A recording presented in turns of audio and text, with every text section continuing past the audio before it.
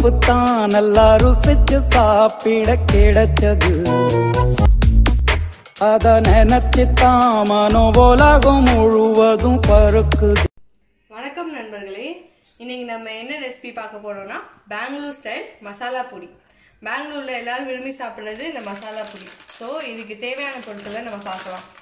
இதுக்கு தேவையான பொருள் ஃபஸ்ட்டு இது கோல்கப்பா. இப்படி இருக்கும். இது வந்துட்டு உங்களுக்கு சூப்பர் மார்க்கெட்ஸில் கிடைக்கும் கோல்கப்பா. அதுக்கப்புறம் இதுக்கு தேவையான மசாலாவுக்கு என்னெல்லாம் பண்ண போகிறோம்னு பார்க்கலாம். நம்ம அவிக்க வேண்டியது ரெண்டு உருளைக்கிழங்கு ஒரு கேரட்டு கொஞ்சம் மஞ்சள் ரெண்டு கிராம்பு ஒரு கப் பட்டாணி. பச்சை பட்டாணி எடுத்துக்கோங்க. இதெல்லாம் வந்து நம்ம ஃபஸ்ட்டு குக்கரில் வச்சு அவிச்சிடணும்.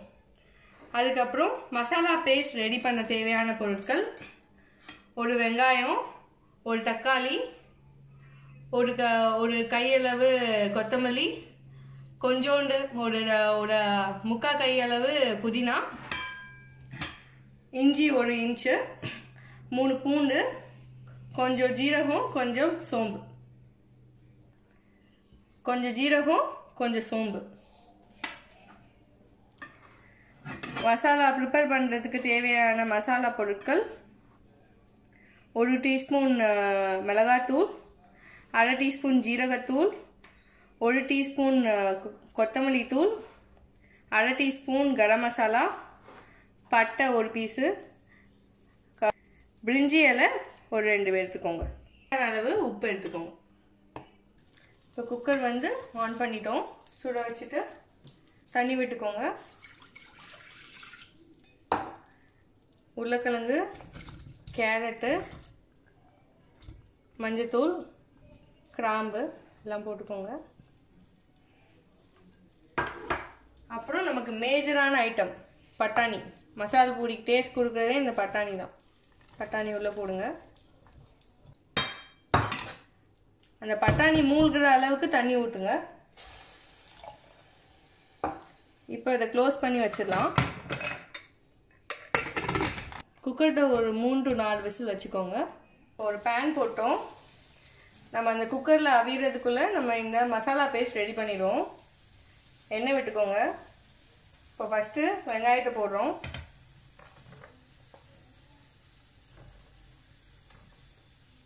வெங்காயம் வதங்கட்டும். அதுக்கப்புறமா தக்காளி போட்டுக்கலாம். ஃபஸ்ட்டு வெங்காயம் வதக்கலாம். இப்போ வெங்காயம் வதங்குறது கூடவே இந்த பூண்டு இஞ்சி சோம்பு சீரகம் எடுத்து வச்சதெல்லாம் போட்டுருங்க. எல்லாம் சேர்ந்து வதங்கட்டும். நம்ம இந்த டைமில் கொஞ்சோண்டு உப்பு சேர்த்துக்கலாம். ஏன்னா வெங்காயம் அப்போ தான் சீக்கிரம் வேகும். இப்போது கொஞ்சம் ஒரு கலர் மாறிடுச்சு. ஆனியன் வதங்கிடுச்சு வெங்காயம் வதங்கிடுச்சு. இப்போ நம்ம கொஞ்சம் அந்த தக்காளியை போட்டுடலாம். போட்டிருக்கோம். இது நல்லா வதங்குற வரைக்கும் நம்ம வெயிட் பண்ணுவோம். இது ஒரு ரெண்டு நிமிஷம் ஆகும். இதை வதங்கிடுச்சு. நம்ம இது ஒரு மிக்சர் ஜாரில் மாற்றிப்போம் ஆழட்டும்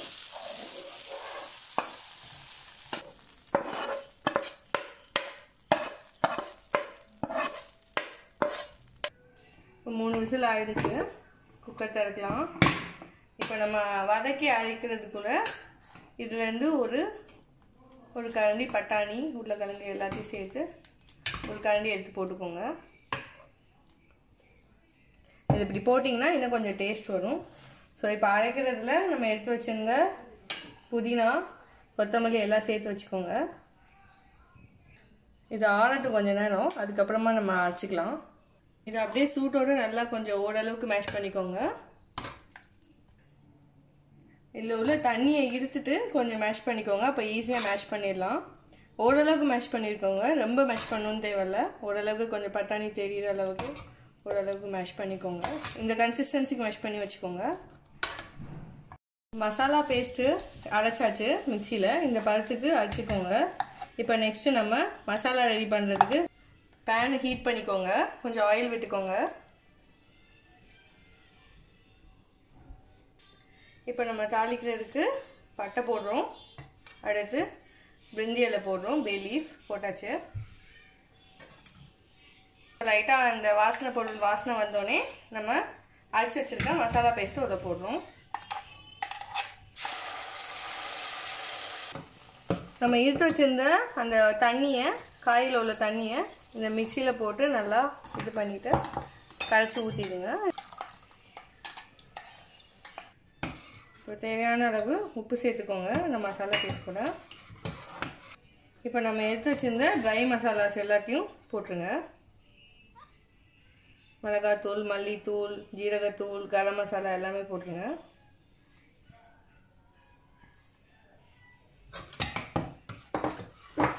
அந்த அவிச்ச காய்கறிகள்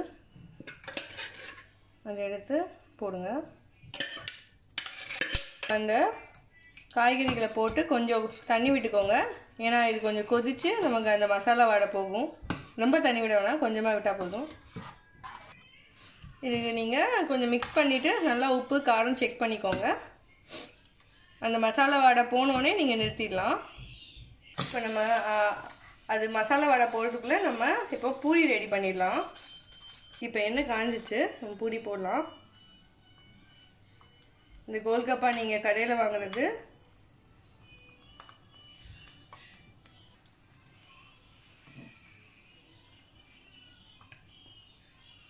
ஒரு சைடு உப்பி வந்தோடனே அதை அப்படியே திருப்பி போடுங்க.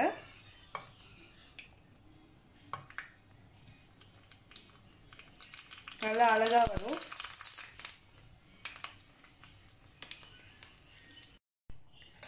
இப்போ ஒரு பத்து நிமிஷம் ஆயிடுச்சு.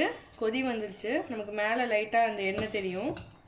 ஸோ இப்போ இந்த பச்சைவாடையும் போயிருக்கோம் போயிருக்கும். ஸோ இப்போ ரெடி ஆயிடுச்சு மசாலா. இப்போ பூரியும் ரெடி ஆயிடுச்சு. ஸோ நம்ம மசாலா பூரி செய்ய போகலாம்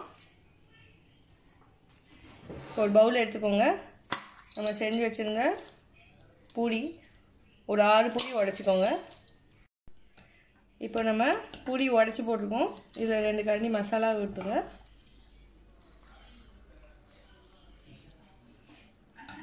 இதுக்கு மேலே கார்னிஷிங்க்கு கொஞ்சம் வெங்காயம் பொடிசாக நறுக்கி போட்டுக்கலாம். கொஞ்சம் கொத்தமல்லி நறுக்கி போட்டுக்கலாம். இப்போ சுவையான மசாலா பூரி ரெடி சூப்பராக இருக்கும். செஞ்சு பாருங்கள் வீட்டில் பிடிச்சிருந்தா லைக் பண்ணுங்கள் ஷேர் பண்ணுங்கள் சப்ஸ்கிரைப் பண்ணுங்கள் வணக்கம்.